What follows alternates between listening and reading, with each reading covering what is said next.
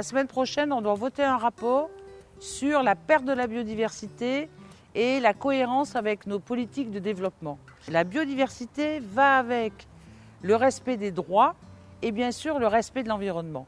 Pour respecter les droits et l'environnement, eh bien, la pièce maîtresse, c'est les peuples autochtones. Pourquoi? Parce que toutes les études scientifiques montrent que ce sont les peuples autochtones et indigènes qui protègent la biodiversité. Ils connaissent leurs forêts, ils connaissent leurs savanes et ils savent l'utiliser avec parcimonie. Et toutes les forêts qui sont les mieux protégées, c'est la présence des peuples autochtones. Donc dans ce rapport, j'ai essayé de renforcer leurs droits, de faire en sorte à ce que quand il y a une modification au niveau de leur environnement, quand il y a une industrie qui veut s'installer, il faut absolument qu'ils soient associés aux décisions. C'est pour ça que tout ce qui est foncier, et notamment tout ce qui est droit communautaire, on doit le renforcer.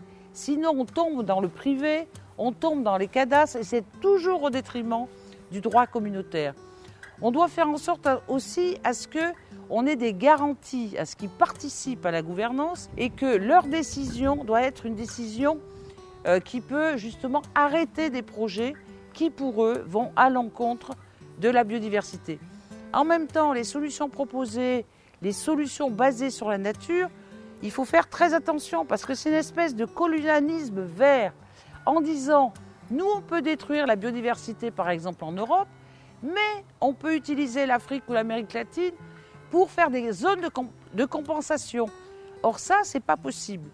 Donc, c'est aux députés européens, par l'intermédiaire de textes législatifs, pour justement faire en sorte à ce que demain, on ait encore des peuples autochtones. Si on ne se bouge pas là-dessus, il y aura perte de biodiversité sur la faune et la flore et perte de biodiversité par la disparition de ces peuples.